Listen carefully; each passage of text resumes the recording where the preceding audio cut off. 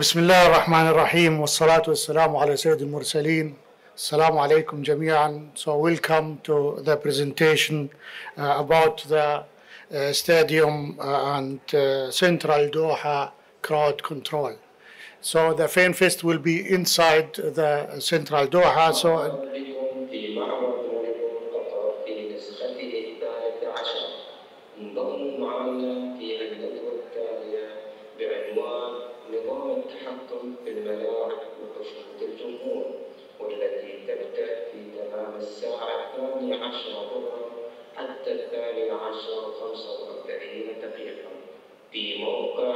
A062. In my lecture, I will not uh, consider the pandemic uh, instructions.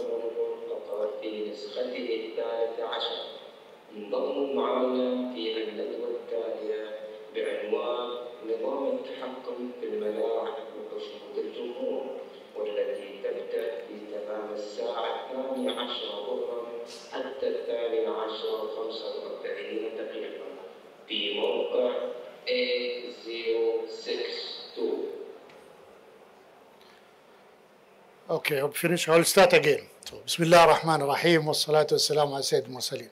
Assalamu alaikum jami'an and welcome to, the, to this presentation about the stadiums and Central Doha crowd control. Uh, in this lecture, I will not consider the pandemic uh, conditions by Uliana and presented, and I will also present the full capacity use of the World Cup um, uh, championship and also to um, concentrate on the crowd movement and crowd control in the whole event, not specific inside the stadium, but in the whole event when all uh, uh, uh, activities are running. So to my person, I am Salim Al-Bosta and I am structural engineer and crowd management expert. Uh, I worked in uh, Germany, Saudi Arabia, Afghanistan, Lebanon, and Jordanian, and now I am in Qatar uh, for to prepare for the World Cup 2022. In Saudi Arabia, I was responsible for the crowd movement for the pilgrims in the holy, spa- holy places in Mecca. So,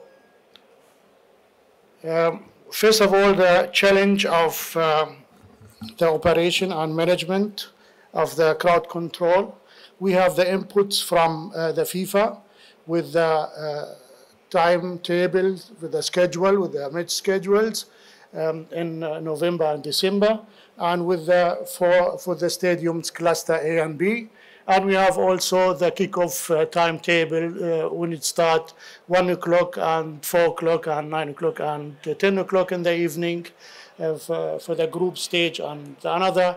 We have also the input that we have to save 70% of the spectators' arrival at the stadium one hour before the kickoff, and we have to clear the stadium within 30 minutes and to clear the last mile around the stadium within 90 minutes.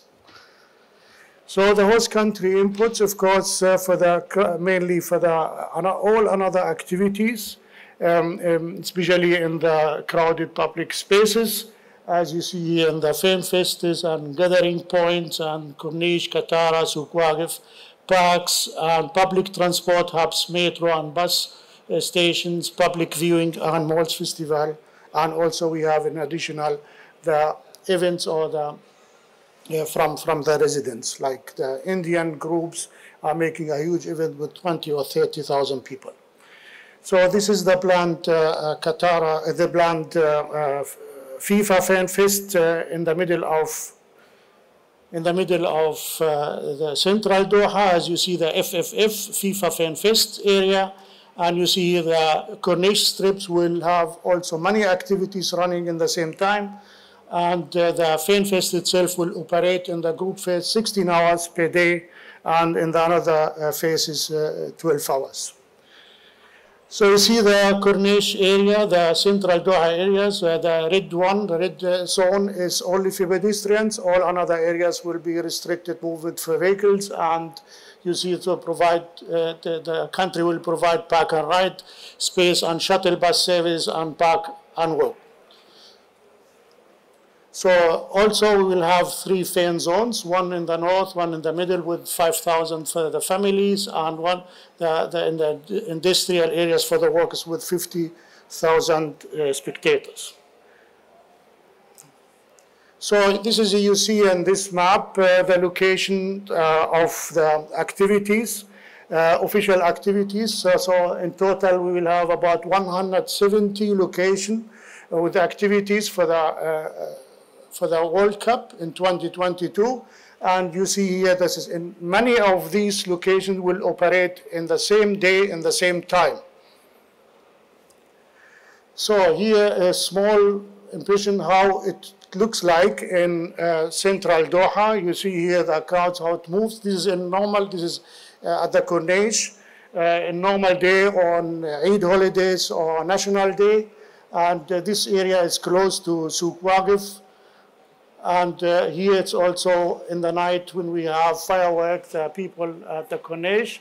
This is Souk itself. It's, uh, pop, uh, it's um, popular and it's um, a must visit for, for, especially for the tourists and also for the residents. And there are uh, many, um, there are many uh, activities, culture activities and festivals and music. And it's running the, the whole day, the whole time uh, during also it's planned to have such events uh, during also the World Cup. Katara is also the next one.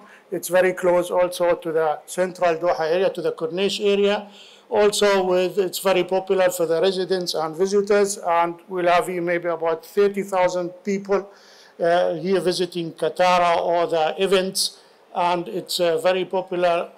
As you see here, it's planned with the in the theater area planned, as I said, we will have maybe more than 20,000 people. So you see here and uh, also Aspire public viewing, thousands of people gathering there to watch the public viewing or to go uh, uh, in the park. This is very close to the Khalifa International Stadium and this is, you see the spectators coming from the uh, metro station directly to the to the stadiums and the distance between here it's about maybe 200 meter only. And you see here the egress, spectator egress from the stadiums. As I said, within 30 minutes we have to clear 40,000 directly to the last mile uh, through the gates and then to, uh, to the uh, metro stations and to the uh, bus hubs. And we have, of course, the bottleneck will be uh, at the transport nodes to clear the people, they are coming in one time to clear the people with the available capacity in the metro and uh, bus services. You see this is Al Wakra station, how it looks like inside the station. This is a normal day, on Friday. And you can imagine if you have the visitors from outside. Uh, here's the fan zone. We have small experience with fan zone in the Football Club World Cup in 2019. And we have here the um, fan zone will be for 80,000. The old one was only few 5,000 people. So how we uh, manage or how we control the crowd movements during the World Cup Champions Days, Championship Days uh, between the stadiums and different locations, yeah, and especially in central Doha. So first, just for example here, Chair, please concentrate with me. This is uh, uh not easy. Uh, if we have one day in November uh, 22, the, in the group phase, and we have Stadium Cluster A. This is Lusail Stadium, Education City Stadium, Al Janoub, and Ras Al Aboud. The capacity of these four stadiums will be uh, 200,000 people. And if we consider now the Fan Fest with 80,000, Katara with 30,000, Supwa with, with 30,000, so we'll have, we will have 345,000 people in one day. We have to serve 345,000 people in one day. Of course, not all of them, they are moving in the same time, in the same hour, but they are moving in one day from A to B, from stadium to another, or to the central Doha, or to the Fan Fest, and so on. And you see here the distance between the stadiums and the Fan uh, Fest. The distance here is less than 30 kilometers.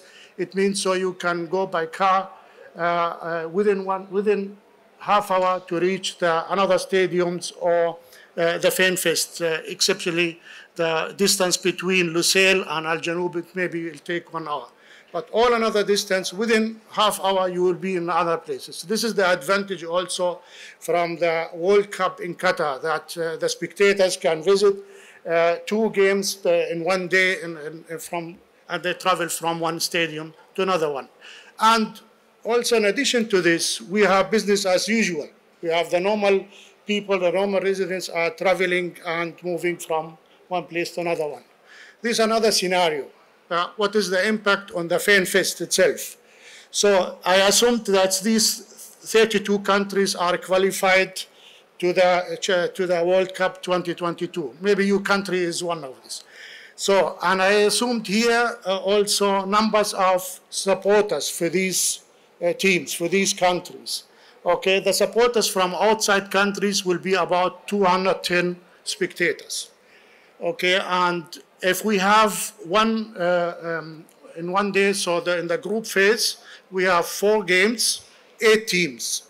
The supporter of these eight teams will go to the stadiums, and maybe half of them, or uh, uh, 40,000 or 20,000, will go after that to the Fan Fest or to Central Doha.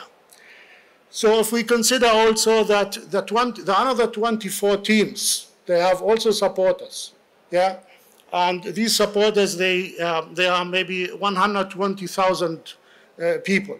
So if we said half of them, they will go to Qatar or they, they are, what should do, what should they do in, in, in Qatar? So they will go to the Fan Fest or go to the Uh, uh, activities in, in Central Doha. So at least we will have about 100,000 to 130,000 going to the Fan Fest or to Central Doha. As you know, the capacity of the fan fest itself is 80,000. So we have to redirect the flow for about 20,000 to 50,000 to another location. And we have to control it, of course, from the original. So how we manage or how we plan the uh, pedestrians movement, we have two ways. We have the first one organized with, uh, as we do it for the stadium, for the fan fest, with the uh, numbers, with the uh, queuing system, queuing analysis, and so on. This is clear for us. We know the numbers. We know that how many tickets sold, and so on. We can organize this. And the another one is the unorganized. We don't know from where they are coming. We can assume that. And we will have, of course, flow congestion. So for this year, we plan, or we should plan, so uh, a system, a model uh, for, for for Qatar, for, especially for central Doha, to, and to put all inputs inside from the pedestrians number, the traffic, the metro, the bus, and put it in the system and throw the uh, schedule of the uh, tournament and also the opening time and so on and the metro uh, time operation. Uh, we should put all these inputs and uh, play the scenarios and to have a forecast um, uh, forecast planning to see where it could be happened and also in the same time to have a real-time operation and monitoring to redirect the flow uh, uh, on time in, in the right place to the right place. This is but this is a very complicated optimization model and it needs a special one for Qatar. We have one for the traffic with VISSIM and so on. We should integrate also the pedestrians movement in the available programs. So one example here in Zurich in Switzerland, how they organize uh, a big event with uh, hundreds of thousand people. They are doing uh, this year measuring the crowd conditions using smartphone sensors to estimate safety relevant characteristics like the crowd movement, movement facility, density, turbulence, and crowd pressure. And you see here, you can do it for the whole city in one time, but you can, due, due to the real-time monitoring, you can concentrate in, in one place if you have very high density, and you can zoom out this here and take the right measure to redirect the flow or to release the situation. This is one example from Kuala Lumpur. I don't know if it is organized or not organized, but this is you must, you see how the um, uh, people moved. This is a very, very fast motions but uh, and uh, in the same time the traffic. And uh, in one time they will open, they will keep um, the streets only for the pedestrians and the problem is not here. The problem is the destination when they arrive there, how we can serve them uh, if they arrive at the destination. So the host country transport also provided a mobility plan for the World Cup, uh, of course uh, concentrated on the uh, uh, public transportation with metro and buses. And the metro is serving directly five stadiums and three another stadiums will be served with buses and uh, uh, shuttle buses uh, between the metro stations and the stadiums. And as you see here, we have the red line with capacity at uh, 24,000 per hour per direction. They could arrive in Msheireb station in one time, 24,000. And also the green line and the gold line, they have capacity 10,000 person per hour per direction. Yeah? This must be confirmed. This is the plan for the, uh, for the World Cup. But we have to uh, now organize and to balance the capacity for these numbers, for the station itself, but also from the between the, sta the, the stations. Let us see here this one. This is an example for one metro station at Khalifa Stadium. And you see here, this is the facilities of the stations. So the first one is here stadium walking path. This is from the stadium to the station. It's the last mile. And we have there, uh, we can control the flow from there to the station. Then they enter the station with the queuing system. And you see here the numbers are the capacity uh, for, from, from these internets. We can control the flow through these capacities. Inside the station, we have the stairs, escalators, walkway, underpass. We have the ticketing gates we have the platform itself, and you see all this here, we should send the people to serve the bottleneck, the 10,000 people per hour. As you know, uh, maybe 20,000 will use the metro to reach the stadium, and um, within 30 minutes they will leave the stadium. The capacity is uh, 10,000 per hour, so I cannot put 20,000 in one time within 30 minutes in the, in the station. So I have to dispatch the people, to control the people, uh, to control the flow, and this we can do it with the queuing system in the front of the stadium. It's very important to know that after the game, people, they have to wait to enter, to, to ride the train. They have to wait because uh, the, the capacity of the metro. If we do the balance for this station, okay? But we have to consider the balance between the other station, the station before and the station after. And also to consider the main station in Msheireb, where all three lines are uh, arrived in, the, in one station. So now we come to the crowd management and crowd control. I don't know if you know the difference between control and management. So uh, the crowd is, of course, the pedestrians are moving or they are uh, uh, standing or sitting in the stadiums. This is the crowd in general. And the crowd management is, uh, of course, a systematic planning and measures that ensure safe and comfortable movements and gathering at the venues. The crowd control is uh, control, and in Arabic we can translate it to two, two names Control التحكم and control السيطرة. In English is the, the same, but in Arabic we have two translations. So the crowd control uh, uh, is uh, measures that ensure restriction or limitation of groups' behavior with control procedure to enforce order, to use power, and with the aim to return the abnormal crowd situation to normal situation. So what is the, what is the, the relation? What is the overlap between crowd management and crowd control? So the overlap, it normally it's happened within two minutes. Yeah, it's normally you have here people moving at one gate and you have congestion at the internets and people fall down or you have stampedes, then you translate the crowd management to crowd control and you have immediately to interfere to avoid uh, disaster or stampedes. So you see in this uh, slide, the crowd management is green. It's like uh, the traffic light. It's green, it's normal situation. And if you see as, uh, of course, the police, the security people, they should monitor the whole situation the whole time because, as I said, within minutes they have to interfere. So after that, if something happened, abnormal situation. So the police, the normal police with normal uniform, is taking uh, uh, care of it to take the order, and the crowd management team must be follow the order of the security staff. If we have violence or we have uh, uh, disorder, so we have to interfere with forces, with security forces and equipment, and after we uh, solve the problem, we move back to crowd control, and after that, to uh, hand over this to the crowd management team.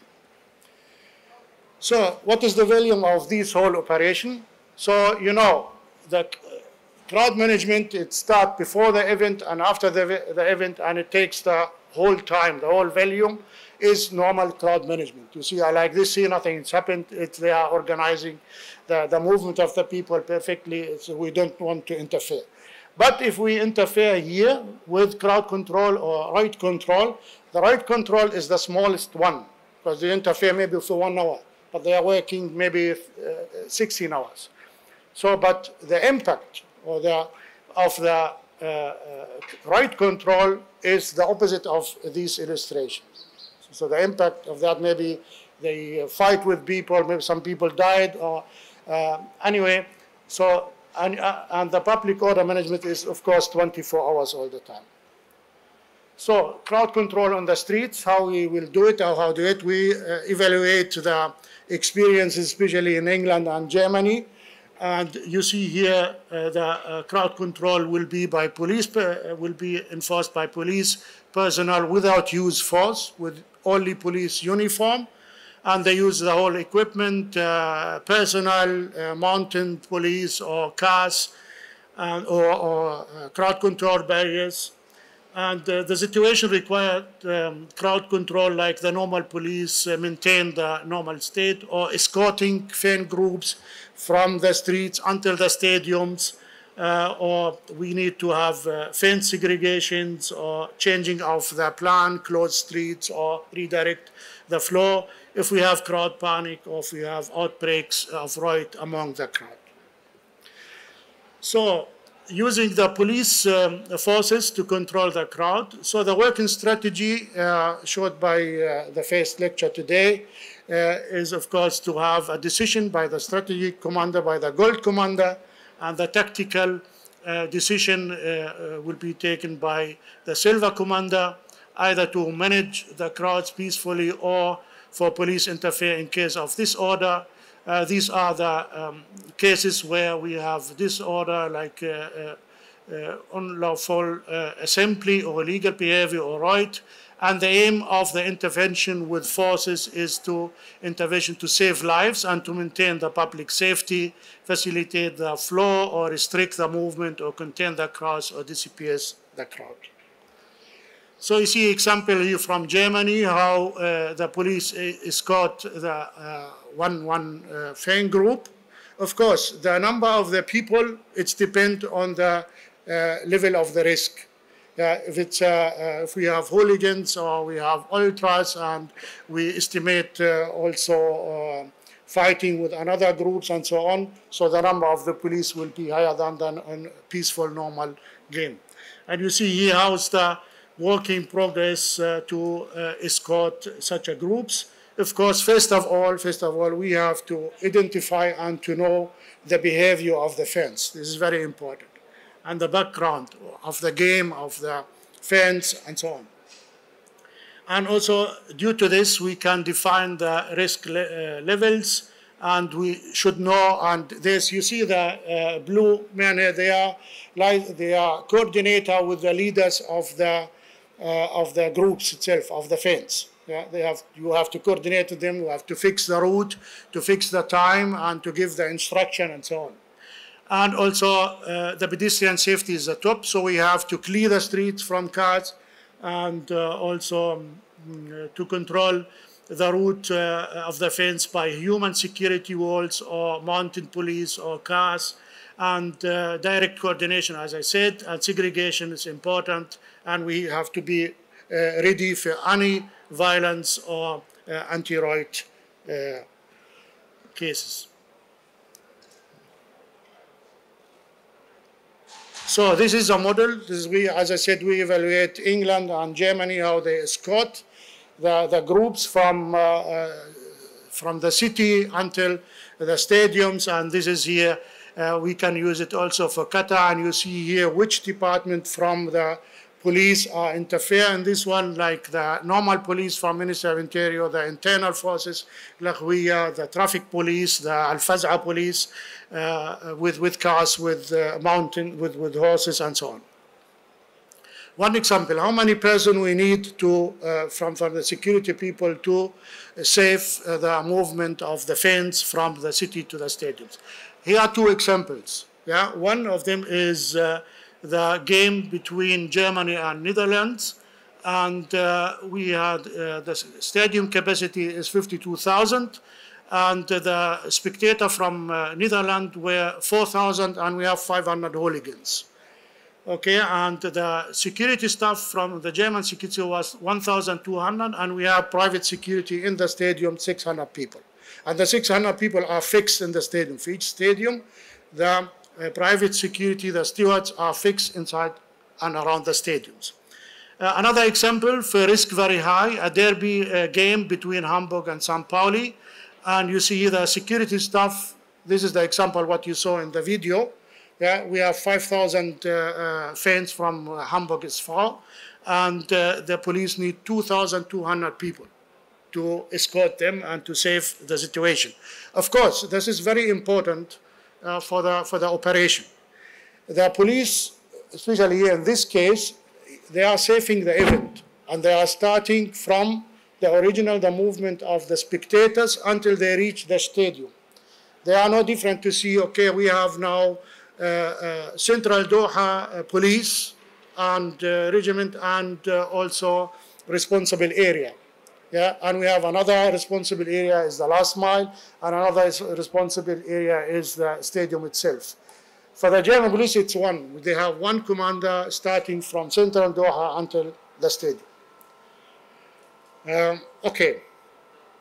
So one example how we can do it for Qatar if we choose the Dutch, the Netherlands uh, supporters, and uh, we of course, of course, organize this uh, with with their representatives, with their leader, to collect them all, to gather them for a party at, at the Museum of Islamic Art in the garden there. So we collect about 5,000 supporters, yeah, and then we move them from the Islamic Art uh, garden to Ras Abu Aboud Stadium. The distance will be 4.5 kilometers. Yeah, it takes maybe uh, one and a half to two hours walking, and we have to escort now 5,000 people from uh, the Islamic art uh, gardens until Ras Abu Aboud. And this is tradition by the Holland fans. They, they, they did it in, in, in Brazil, in Germany, in, um, uh, in Switzerland, uh, they collecting them together, they're gathering in one place and uh, the party, and after that they move as a one block from the city center to the stadium. And they have these tradition buses, they send this bus in advance, they transport it per ship to Brazil, and they uh, meet there and they went together to the stadium. Uh, yeah, and this is the procedure how we can do it in Doha all these 170 events, yeah, as you saw in the first lecture, yeah, are controlled and monitored and organized and managed by the Security and Safety Operation Committee in the Tournament Control Center. And the operation progress for this is the working uh, already started with the integration and coordination all plans and locations we uh, are planning with the pre-event preparations, which are and temporal spectator flow prediction model, and uh, the monitoring itself we, to collect the all information and conservation spectator data from all resources. And uh, we have a forecasting uh, system and with a real-time prediction flow and uh, to react if something happened. Yeah, uh, to I am concentrating only on the crowd control. So to uh, flow redirection or implement one-way system or to um, the dynamic scaling of public transport capacity like closing roads, opening roads, redirection, or closing stations, or stop the uh, movement of cars or buses and so on. And of course, it needs uh, special stuff and to dis distribute this stuff in the right location to interfere within minimum time to the uh, spot. Uh, this is it, I think, from my side. Thank you all for your attention.